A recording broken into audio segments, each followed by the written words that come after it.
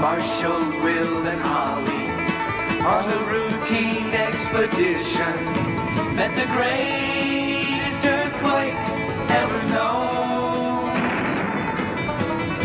High on the rapids, it struck their tiny raft and plunged them down a thousand feet below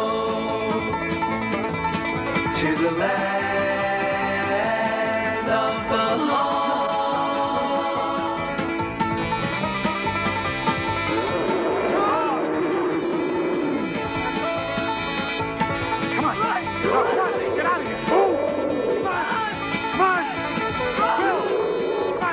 go.